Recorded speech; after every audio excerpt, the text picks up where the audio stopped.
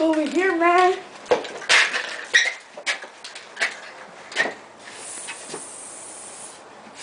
The fuck? Hey! Hey, hey, what the fuck? Yeah.